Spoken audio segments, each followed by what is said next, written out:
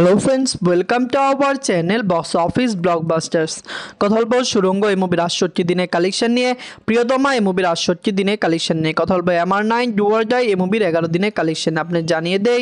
MR nine do or die কিন্তু বাংলাদেশে ভালো কালেকশন করছে। মুভিটি বাংলাদেশ থেকে বর্তমানে যেরকম কালেকশন করছে মুভি আমার মনে হয় লাইফ টাইমে ক্লিন হিট হয়ে যাবে। কারণ এখনও মুভি চায়না এবং আপনারা জানেন ইন্ডিয়াতে রিলিজ হওয়া বাকি আছে। ইউরোপ মালয়েশিয়া সিঙ্গাপুরে রিলিজ হওয়া বাকি আছে। প্রথম কথা বলব, সুরঙ্গ নিয়ে ওর বাজছিল এক কোটি টাকা লিডার হলো আফরান নিশু। সারিম যিনি আটষট্টি দিন কমপ্লিট করে নিয়েছে।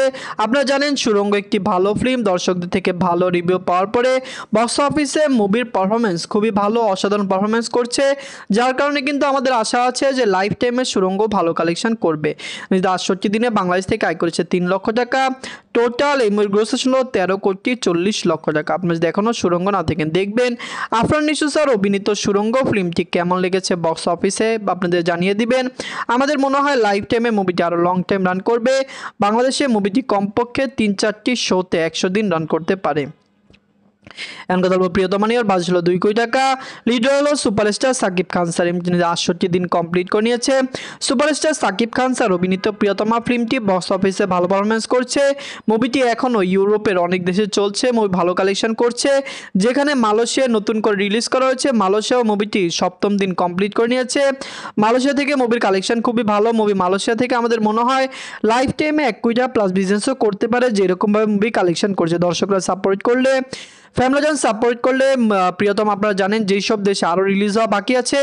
সকল দেশে প্রিয়তমা ভালো কালেকশন করবে। নিজেদের আটষট্টি দিনে বাংলাদেশ থেকে আয় করেছে আট লক্ষ টাকা ওভারসিজ মার্কেট থেকে আয় করেছে দশ লক্ষ টাকা। মুভিটি ওয়ার্ল্ড মার্কেট থেকে আয় করেছে আঠারো লক্ষ টাকা। টোটাল এমির গ্রোসের জন্য ছাব্বিশ কোটি উনসত্তর লক্ষ টাকা। আপনার যদি এখনও প্রিয়তমা না থাকেন, দেখবেন সুপারস্টার সাকিব খান স্যার অভিনীত প্রিয়তমা ফিল্মটি কেমন লেগেছে? কমেন্ট করে জানিয়ে দিবেন। এখন কথা বলব এমআর নাইন ডুয়ার জাইনিয়র বাজে ছিল তিরাশি কোটি টাকা। লিডার হলো এবিএম সুমন স্যার যে এগারো দিন কমপ্লিট করে নিয়েছে। এমআর নাইন ডুয়ার দায় আপনারা জানেন বাংলাদেশের ইতিহাসের সবচেয়ে বড় বিগ বাজেট ফিল্ম দর্শকদের চাহিদা মতো মুভিটিকে বানানো হয়েছে, দর্শকরা এই মুভিকে সাপোর্ট করেছে। ফ্যামলাজান্স এই মুভিকে সাপোর্ট করেছে, যার কারণে কিন্তু এমআর নাইন ডুয়ার দায় অলরেডি বাংলাদেশে ক্লিন হিট ইউএসএ কানাডা মার্কেটে ক্লিন হিট আপনারা জানেন। এটি প্রথম বাংলাদেশি ফিল্ম এবং যেটি বাংলাদেশ এবং হলিউডের যৌথ প্রযোজনায় রিলিজ করা হয়েছে। এবং মুভিটি হলিউডের মেন সেন্টারগুলিতে রিলিজ করা হয়েছে, যার কারণে কিন্তু মুভি এক কোটি টাকার প্লাস বিজনেস প্রতিদিন ইউএসএ কানাডা মার্কেট থেকে করছে। নিজেদের এগারো দিনে বাংলাদেশ থেকে আয় করেছে পনেরো লক্ষ টাকা ইউএসএ কানাডা মার্কেট থেকে আয় করেছে এক কোটি পনেরো লক্ষ টাকা, ওয়ালেট মার্কেট থেকে আয় করেছে এক কোটি তিরিশ লক্ষ টাকা টোটাল গ্রোস ছিল সাতত্রিশ কোটি আটচল্লিশ লক্ষ টাকা। আপনারা জানেন এমআর নাইন ডুয়ার যায় তিরাশি কোটি টাকা বাজেটের মুভি মুভিটিকে আপনারা জানেন ওটি প্ল্যাটফর্মে রিলিজ করা হবে। ডিজিটাল টিভি প্রিমিয়ার সব কিছু মিলিয়ে অলরেডি তিরিশ কোটি টাকার বেশি রিকভার করেছে।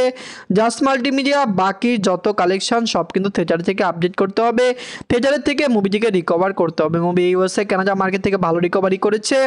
বাংলাদেশের মার্কেট থেকে ভালো রিকভারি করছে, যার কারণে আমাদের মনে হয় এমআর নাইন ডুয়ার যায় লাইফ টাইম ভালো কালেকশন করতে পারবে। আপনারা যদি এখন এমআর নাইন ডুয়ার যায় প্রিয়তমা সুরঙ্গ না থাকেন দেখবেন কমেন্ট করে জানিয়ে দেবেন এই তিনটির মধ্যে সবচেয়ে সেরা বাংলা মুভি কোনটি? ধন্যবাদ।